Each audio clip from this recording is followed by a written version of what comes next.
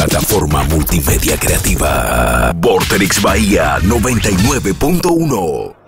Y no ha de pretender que calle su opinión. Lean ese artículo que está vinculado a los anuncios sobre la desocupación. Sabemos que es un opositor acérrimo y no nos interesa. Sabemos que es también este tipo de artículos el que aparece cotidianamente en el diario. Pero léanlo, porque la forma falaz en que está presentada la noticia de una disminución de la desocupación en la Argentina es un ejemplo vivo contra lo que tenemos que luchar los argentinos. Decime la verdad, políticamente rock.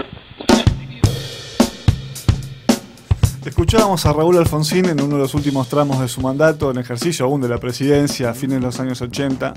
Que esto creo que fue en el año 87 u 88, ahora no lo tengo del todo presente.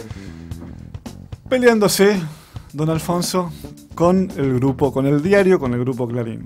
Gustavo Mandará, presidente del bloque de concejales del Frente para la Victoria, muchas gracias por estar hoy con nosotros una vez más.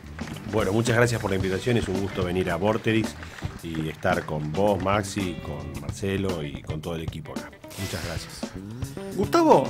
Es un buen programa de sábado. Es un buen programa de sábado, gracias. Eh, a ver, vamos a arrancar por acá. Decime la verdad.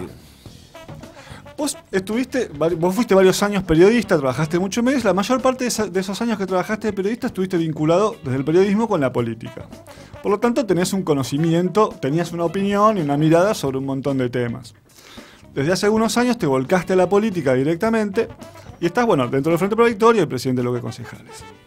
En el Consejo. ¿Cuál crees que es hoy el nivel del Consejo? Vos que tenés una mirada de varios eh, equipos de, concejales durante por lo menos 20 años. Y, salvo yo, muy bueno. lo, que tendría que decir la ocasión. Eh, la verdad es que eh, estoy esperanzado de acuerdo a donde venimos en que podemos llegar a tener un consejo mejor, especialmente ahora que se inicia el, periodo de sesiones ordinarias que las sesiones ordinarias ofician un poco como ordenadoras, digamos, de lo que es el funcionamiento del Consejo. Eh, durante los dos años anteriores eh, se nos hizo difícil, pero también tenemos que ser sinceros en que también puede ser por nuestra condición. Nosotros ahora somos más protagonistas del Consejo, por eso puede ser que nos guste más o nos entusiasme más.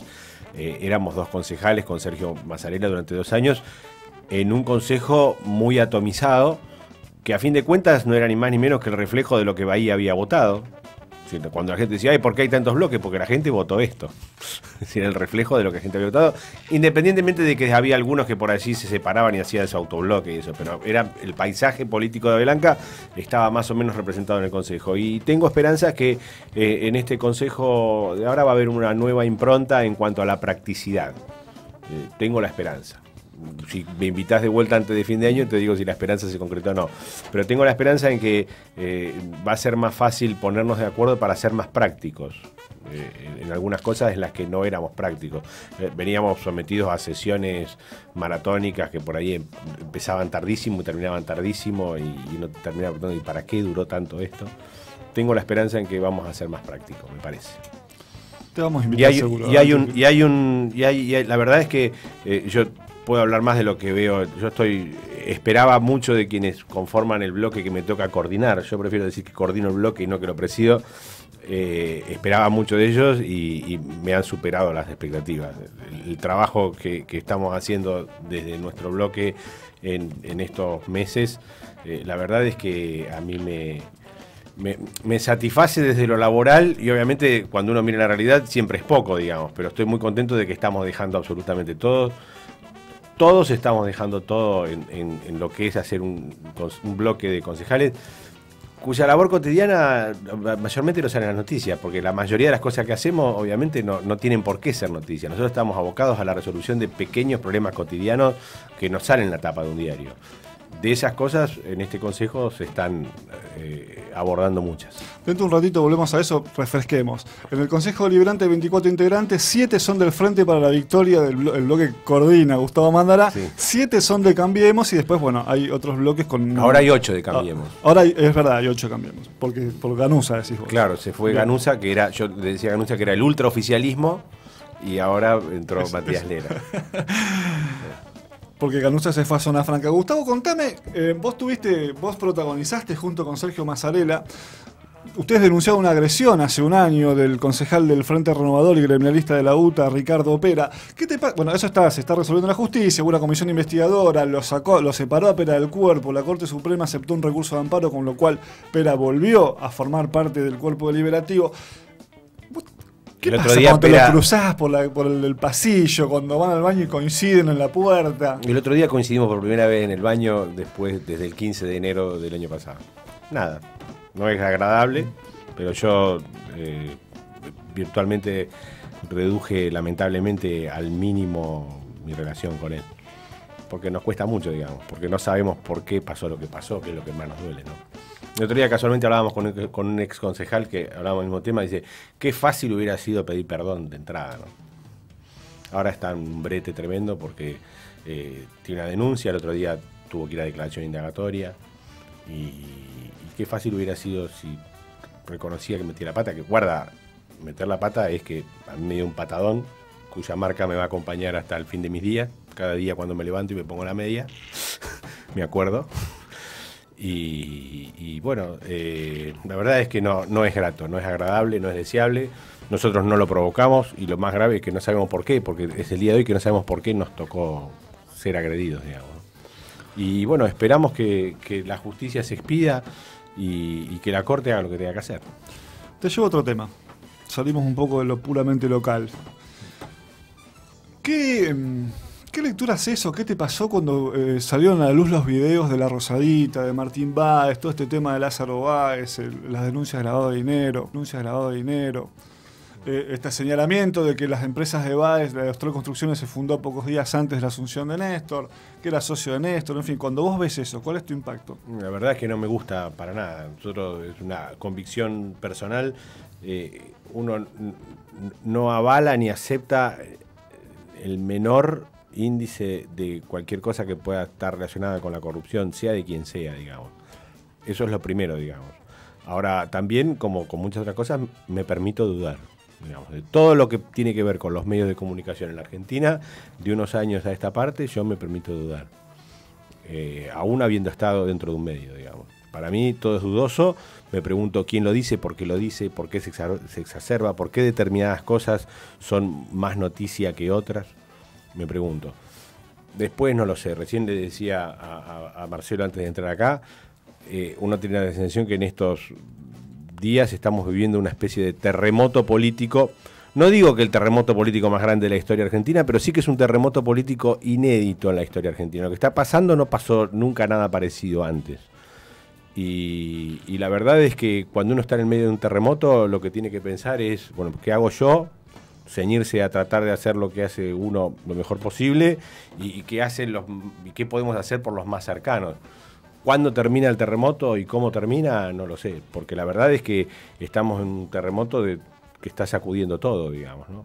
Es como un gran escupitajo para arriba, digo yo. ¿no? Muchos cuando ven a Baez celebraban los antikirchneristas, de repente salta esto de los Panama Papers, que luego celebran los ultrakirchneristas y mañana vas a ver qué es lo que aparece. Lo que sí yo tengo absolutamente claro es que aún que se demuestre palmariamente la corrupción, la cual voy a aborrecer, no me va a cambiar mi forma de pensamiento con respecto a cuál es el lineamiento que tendría que tener el país. Y yo no comparto el lineamiento que tiene este- país. A mí me preocupan mucho aquellos que dicen, ah, porque Baez se afanó esto, nación por hijo. Porque Baez se afanó esto otro, no fútbol para todos. Porque Baez esto, eh, terminemos con los beneficios jubilatorios para aquellos que no completaron los aportes. Eh, o entreguémonos así como nos hemos entregado eh, atados de pies y manos, como nos ha entregado Macri atados de pies y manos a los poderes corporativos. Estamos sometidos a la voluntad de los que más tienen. una de las cosas que me parece que se van a valorar con el tiempo de, de los 12 años de gobierno de Néstor y Cristina Kirchner, independientemente de lo que pase, es que primero pensaban en los que menos tienen y ahora eso no está pasando. Ante la posibilidad de aumentar algo o no aumentarlo, se trataba de hacer el esfuerzo máximo para no aumentar. Y de allí venían las broncas que se, que se venían, porque los poderes corporativos eh, usaban todo lo que tenían a su alcance para armar un revuelo tremendo y cuando se intentaba, ahora resulta que descubrimos que efectivamente las cadenas de supermercados se llevan una tajada demasiado grande. Cuando se decía esto, eh, unos años atrás, se los tildaba de mentirosos. Ahora descubrimos que es cierto. El tema de Báez es que se señala también que era socio de Néstor Kirchner, ¿no? Con lo cual ahí aumenta la gravedad del asunto. Y lo peor- Se supone que. A ver, ¿qué es lo que se dice, usando palabras simples de entender? Que el, que el gobierno anterior, el gobierno de Néstor Kirchner, era una asociación ilícita, ¿no? Que desde el Estado, desde el poder político, se había armado una red de corrupción avalada por, la- por el propio Poder Ejecutivo. ¿no? Eso sería la mayor gravedad de lo que se está denunciando. Aunque se que probar, demuestre, ¿no? que dudo que se pueda llegar a demostrar palmariamente, digamos, pero aunque se demuestre, eso ni a mí ni a quienes trabajamos conmigo nos varía un milímetro nuestra forma de pensamiento en cuanto a la concepción que tenemos de, de cómo debería estar direccionado eh, la función pública, digamos. ¿no? Primero en función siempre de los que más necesitan y no de aquellos que necesitan cada vez más para poder satisfacer su voracidad, ¿no? Hablemos un poco de peronismo, de los liderazgos, de la atomización.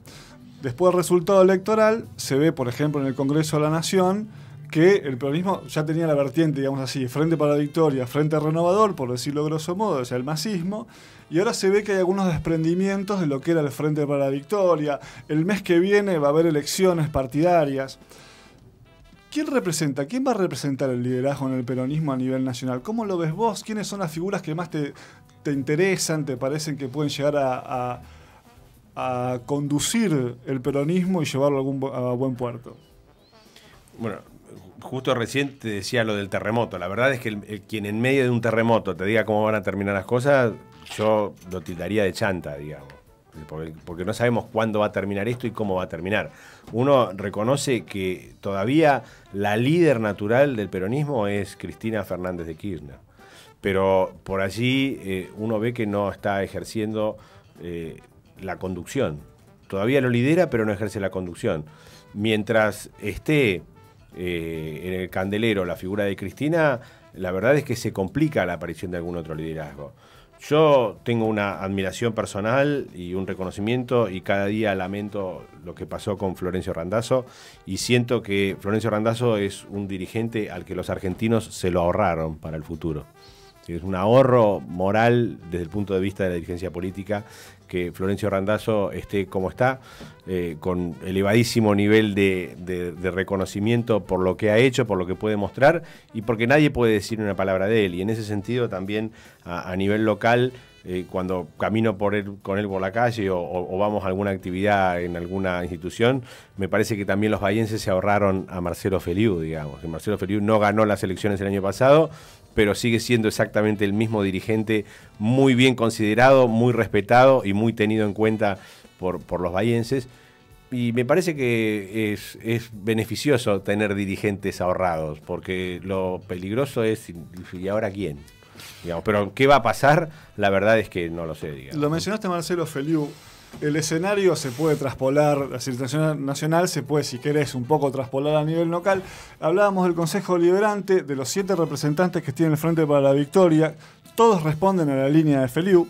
Eh, ¿Feliu es el líder actual del peronismo en Bahía Blanca y la región?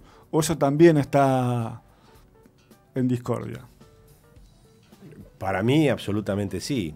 Eh, eh, venimos de, un proceso electoral en el que hubo una primaria abierta, simultánea obligatoria, en la que la otra vertiente ni siquiera sacó la minoría. Y la verdad de la política está en los votos. A mí me cuesta ver que alguien pueda tener más aceptación popular en la ciudad de Bahía Blanca dentro del peronismo que Marcelo Feliu. Si puede haber algún otro, ojalá que lo haya, bienvenido sea, digamos.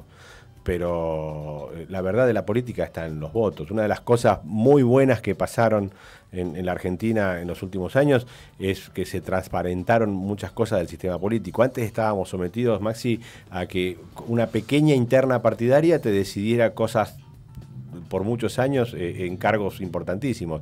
Eh, Acá en Bahía pasaba de que porque la Raburu tenía muy movilizado a General Serri, con eso él ganaba la interna peronista y con eso fue durante veintipico de años el capitoste del peronismo y ponía y hacía y, y sacaba a, a- a gusto y piacere, digamos.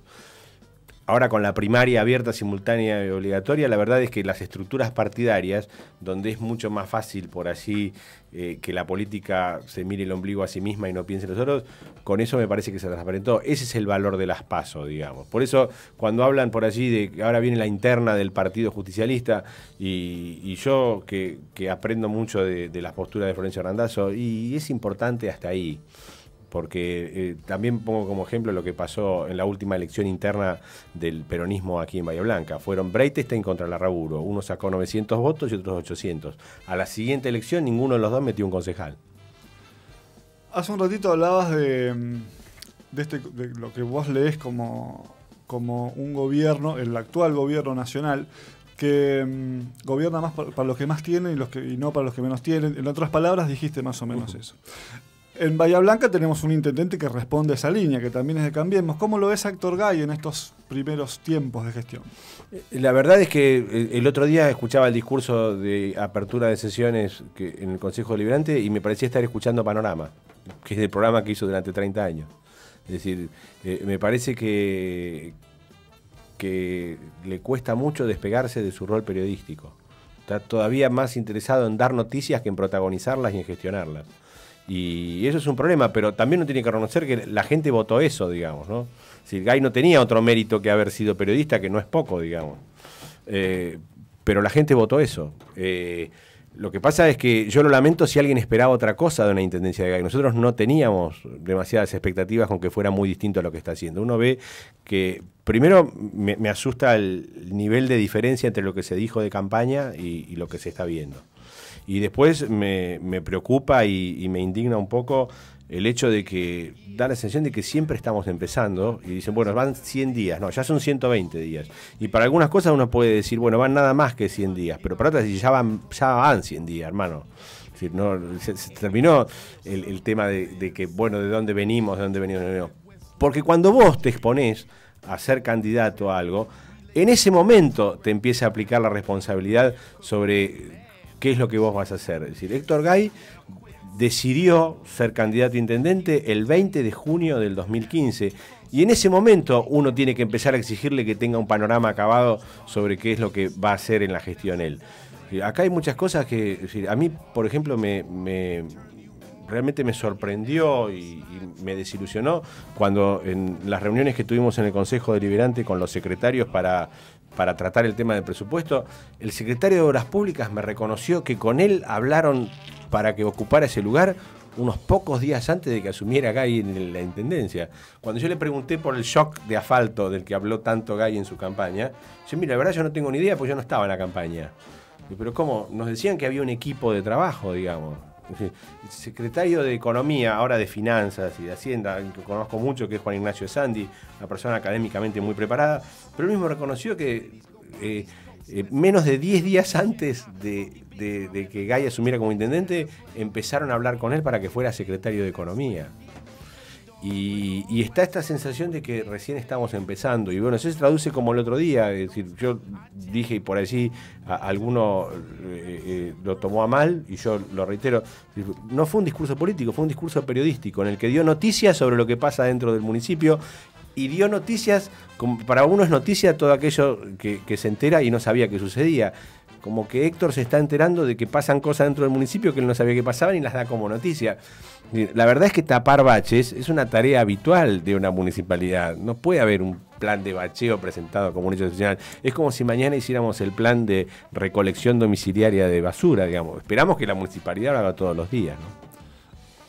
Si fueras intendente o si fueras su principal asesor o si Marcelo Feliu hubiera sido intendente y vos estuvieras en Yo no me equipo. creo capacitado para ser Bueno, por intendente. por es una eso- cosa que tengo absolutamente clara. digamos. Perfecto. Si fueras entonces el principal asesor del intendente. Tampoco Eh, sé si podría ser el principal Bueno, asesor, digamos. en fin, si pudieras tener la posibilidad de conversar con un cierto nivel de confianza. Cada día me doy cuenta lo- la, la- la poca preparación que tengo para ser concejal. Entonces trato de forzarme al máximo para suplir esa falta de preparación, porque me doy cuenta que estoy chocando todo el día, Maxi, contra cosas que cuando compartíamos la redacción del diario lo hubiéramos resuelto fácil porque era escribir y saber y averiguar un dato y hacerlo. Pero ahora tenés que saber de verdad. Cuando te llega un expediente tenés que saber.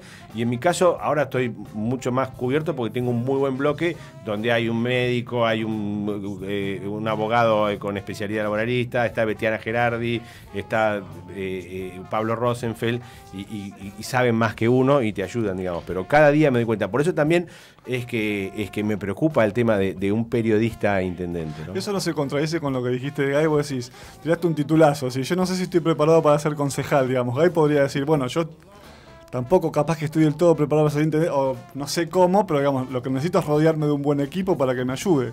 ¿No es lo mismo? O sea, vos te presentaste a ser concejal y te sentías preparado o no preparado para hacerlo. No, lo, tomé como el máximo desafío que, que asumí en mi vida, digamos, el máximo desafío. Y, y cada día me doy cuenta de que es un esfuerzo enorme ser concejal. Yo lo tomo como un trabajo full time al que dedico cada minuto desde que me levanto hasta que me acuesto. No hago absolutamente ninguna otra cosa que ser concejal. Eh, y es difícil. Es difícil si vos lo querés hacer seriamente. Y no tengo dudas que es mucho más difícil ser intendente allá Héctor Gay, digamos, él tuvo la libertad de decidir si va a ser intendente o no, digamos, ¿no? Si él está preparado o no. Y bueno, y está muy bien que, que haya, él dijo que tenía un equipo, pero la cuestión es que este equipo del que hablaba pasaron estas cosas que yo te digo, digamos. Es decir, el secretario de Obras Públicas, eh, eh, de lo que se dijo en campaña, no tomó, no, no tenía noticia hasta que ingresó a, a- su puesto, ¿no? Dos cositas más, Gustavo, te agradecemos por tu tiempo. Gustavo Mandará es el presidente o el coordinador, como No, no hay problema. El presidente del Yo digo que lo coordino, porque la verdad es que la función es, es de- es de coordinación, digamos. Si fueras el principal asesor, hombre de confianza, si tuvieras confianza con el intendente, suponete que hubiera sido Marcelo Feliu, tendrías un diálogo muy fluido con él. ¿En dónde hay que poner el foco en Bahía Blanca? ¿Dónde hay que apuntar los cañones para que Bahía Blanca esté un poco mejor? En la cuestión social, sin ninguna duda. Porque la estamos empezando a pasar mal.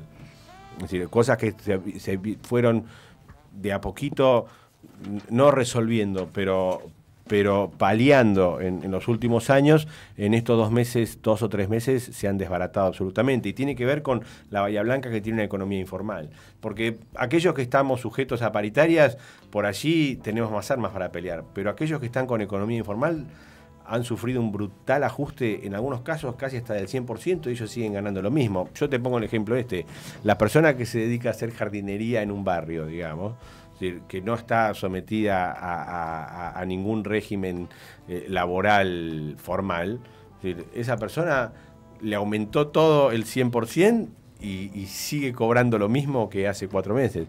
Eh, sin ninguna duda, que primero que nada pensar en los que menos tienen. Y después te dejo dos más. Lo que está pasando con el tema de, de APSA ha pasado ya de castaño oscuro. El otro día declaramos la emergencia sanitaria y, yo decía, decía, la verdad es que muchos vecinos necesitan que vengamos nosotros a decirle que estamos en emergencia sanitaria. Los vecinos de Villa Harding salen a la puerta de su casa y ven que es una emergencia tener un río de líquido cloacal que les pasa todos los días por la puerta de su casa. Me hubiera gustado que Gay, que ya es el intendente, hablara más de eso en su discurso inaugural. Y después lo otro que no veo, que también preocupa, es una política de seguridad. ¿Cuál es la política de seguridad de, de Gay? Llegamos de la mano de Cambiemos, pero cuando uno pregunta, dice, el jefe de policía sigue siendo el mismo de la gestión Bevilacqua. Gustavo, eh, este programa tiene una sección que se llama Te tiro un compromiso, la, la recuperamos también para esta temporada. Eh, le pedimos a los dirigentes políticos que nos visitan que nos den una mano, no a nosotros, sino a alguien que lo necesita. Tratamos de no pedir cosas demasiado complejas eh, para que el compromiso se pueda cumplir. Son cosas que por ahí para ustedes no son tanto, pero para quien las va a recibir son importantes. Hay un comedor de abuelos que se llama La Providencia en Villa Rosario, en Juncal 230. Necesitan almohadas. ¿Te podemos tirar el compromiso de ver qué se puede hacer? De conseguir algunas almohadas. Sí, Sí, como no. ¿Cuántas almohadas? Después te, no sé, después te pasamos bien el, el- Sí. el número y te damos bien los datos. Sí, por suerte, eh, si bien los concejales no, no tenemos eh, una asignación de fondos para este tipo de cosas, eh, ahora que somos más, tenemos en nuestro bloque y, y tenemos personas que tienen una, una conciencia social, te diría, constante y permanente, eh, tenemos más posibilidades de, este tipo de cosas y las atendemos cada día. Así que ningún problema de, sumar esto a lo que hacemos cada día. Eso que yo te decía, de que por allí no sale la noticia porque no tiene por qué salir y es lo que más nos ocupa. Porque la verdad, a mí me tocó salir en el diario cuando lo de Pera, digamos. Pero lo de Pera fue un día, lamentablemente, que ojalá nunca se repita. Pero lo que hacemos todos los días no, sale, eh, es difícil que salga en, las noticias y no tiene por qué salir. Este tipo de cosas es lo que hacemos todos los días, así que gustoso de dar una mano. Lo último, ya vamos a una pausa y recibimos que ya está en nuestro estudio hace unos minutos la senadora provincial Nidia Moirano. Gustavo, fuiste periodista muchos años, desde hace algunos años estás en la política. Decime la verdad. ¿Dónde encontraste más deshonestidad? ¿En el periodismo o en la política?